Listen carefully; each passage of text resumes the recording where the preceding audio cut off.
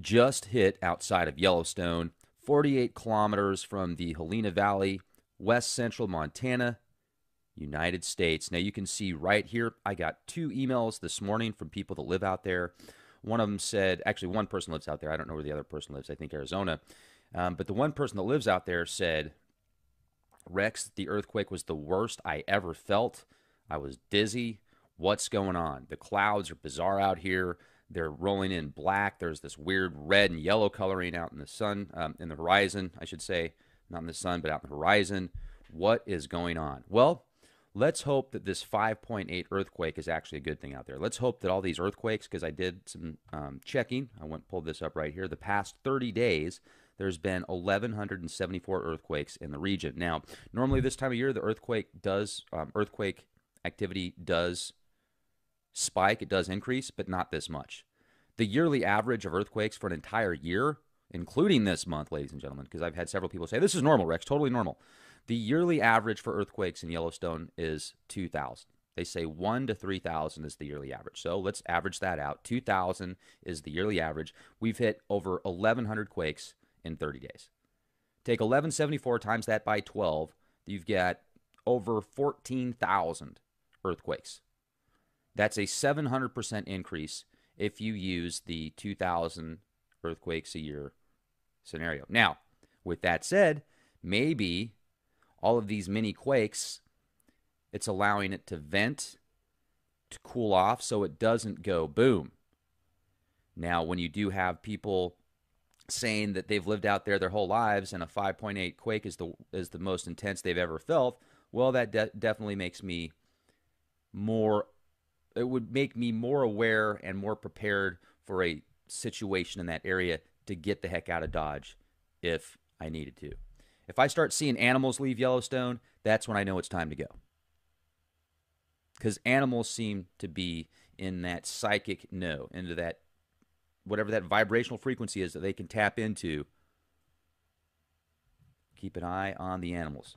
Now, Lincoln, Montana, power was actually lost out there because the earthquake was so intense. And elevation out there, it's about 4,500 feet, about 1,100 people. And it's not a very big area. And that size of an earthquake is quite the anomaly. Now, I pulled up the map right here just so you can see for yourself that you're only, and that's if you're taking all these turns and stuff like that, you're less than 250 miles if you were to take a straight path there. It's less than 250 miles away. Uh, we'll go back over here and look at all the activity in the area. 1,174 earthquakes in the past 30 days. Let's take a look at this right here. So you can see you've got the interactive map, the regional information if you go to usgs.gov, the earthquake.usgs.gov, the shake map. This is a pretty neat website right here. So the July 6th 5.8 quake, according to this website, occurred as the result of shallow strike slip faulting along either a right lateral near vertical fault trending east southeast or on a left lateral vertical fault striking north northwest northeast. I'm sorry. Nanu Nanu. The location and focal mechanism solution of this earthquake are consistent with right lateral faulting in association with faults of the Lewis and Clark line, a prominent zone of strike slip, dip slip, and oblique slip faulting trending east southeast from northern Idaho to east of Helena, Montana, southeast of this earthquake. It's a broad zone of faulting about 400 kilometers in length, up to 80 kilometers wide. wow. Quite incredible. So there you have it a 5.8 quake in Yellowstone. You guys should pick up one of these quick bivvies. Click the link in my video description box. Everybody should seriously have one of these quick bivvies. They fit in the palm of your hand. They weigh a few ounces. You can put them just about anywhere glove box, under your car seat. You can put them in your bug out bag. In if you're a gal and you've got a small purse, you could put one of these in your purse. And if you ever get in a situation where you need to stay warm and you didn't come prepared, this three ounce bag, bivy sack, could help save your life. And they're cheap. So click the link. Be excellent to each other. Be the change you want to see. LeakProject.com. A bizarre mystery in Flagler County. A number of people say they felt the ground shake today. Several people around the Palm Coast area called in to report it.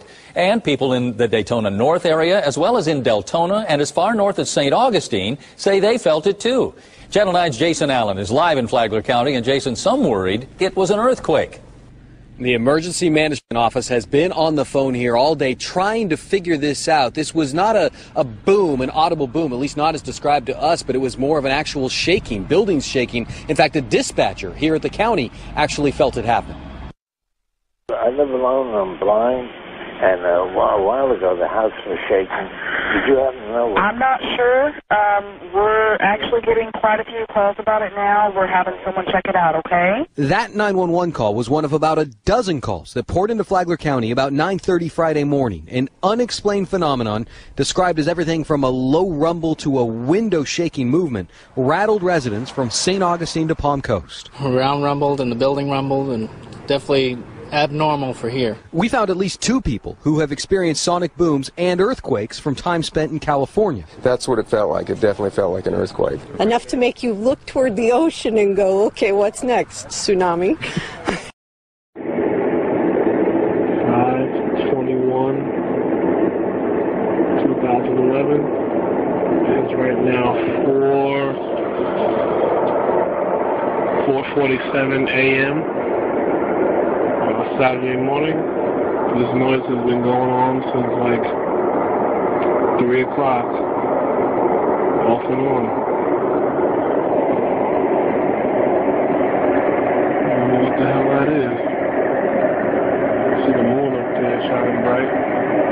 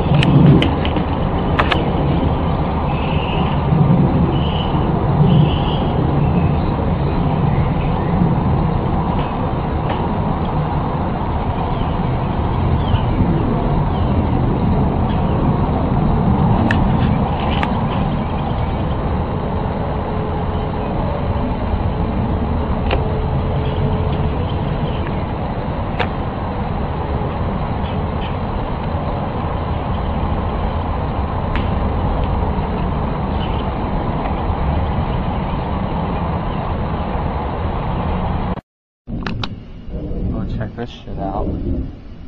Listen to that. That is fucking crazy.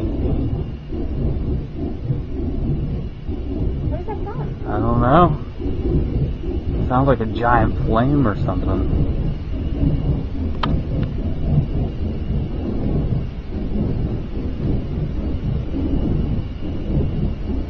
I'm gonna walk across the street.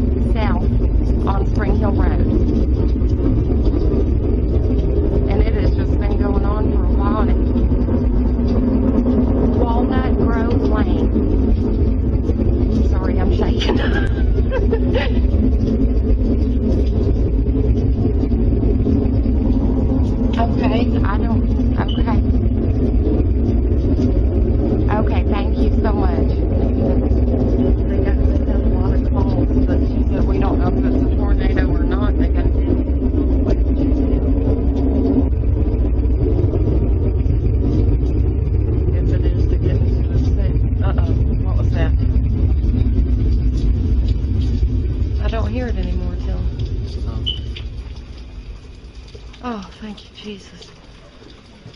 Whew.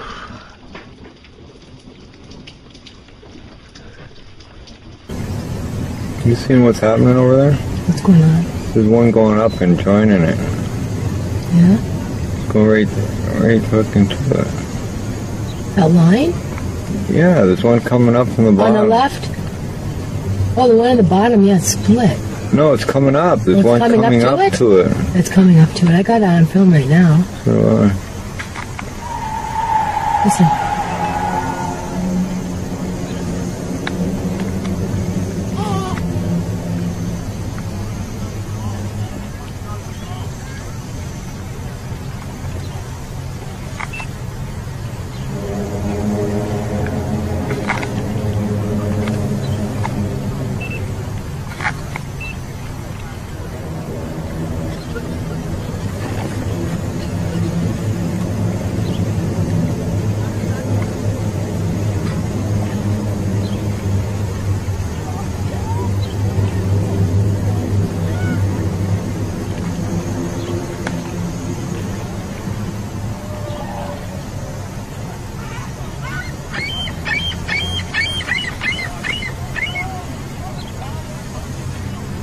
It just disappeared, Mars. What did? The trail that was making that trail went all the way up to there, and it just disappeared again. Okay, I put some hands on you.